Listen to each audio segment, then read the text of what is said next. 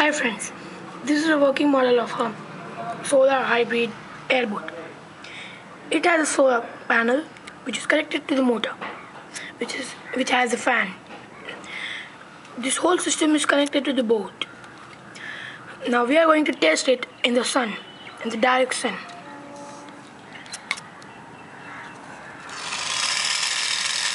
The fan's rotating very speed, but we see it very slow because the camera cannot capture every image of the fan so fast. This is known as hybrid because if any object or vehicle is run by both uh, both two resources is known as a hybrid object uh, hybrid so hybrid object this solar panel also has two resources one is the cell in the batteries in the left and the solar power in the right. We have two options to choose. Now it's running on the solar power. Let's test it on water. It also has a hub which helps it to run far, uh, in straight in the water.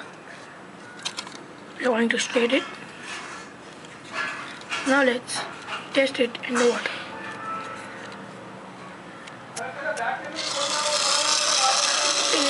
Gonna go very fast and it's gone. It's moving very fast.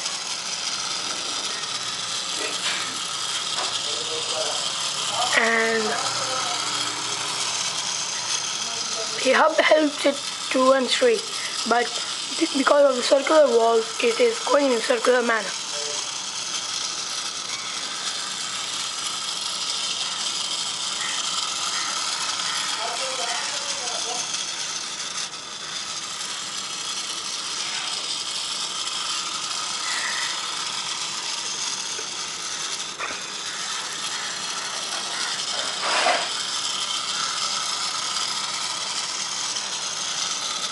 Enough.